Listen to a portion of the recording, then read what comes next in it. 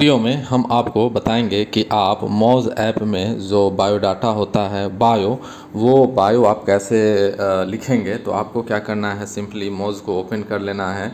और मौज को जब ओपन करेंगे तो मौज को ओपन करने के बाद यहाँ पे आपको क्या करना है, ये आपको चले जाना है प्रोफ़ाइल पे। और प्रोफ़ाइल पे जब जाएँगे तो आपको जाना है एडिट प्रोफ़ाइल पे और एडिट प्रोफ़ाइल पे जब जाएँगे तो यहाँ पे आपको आ जाता है बायो। तो बायो में जो भी कुछ लिखना है, जितना भी आपको लंबा लिखना है, छोटा लिखना है, वो इस तरीके से आप यहाँ पे बायो में लिख सकते हैं। तो ये तरीका होता है मोज ऐप पे बायो लिखने का। तो अगर यहाँ पे वीडियो आपको अच्छा लगे तो वीडियो को लाइक कर दीजिएगा और चैनल को सब्सक्राइब कर दीजिएगा।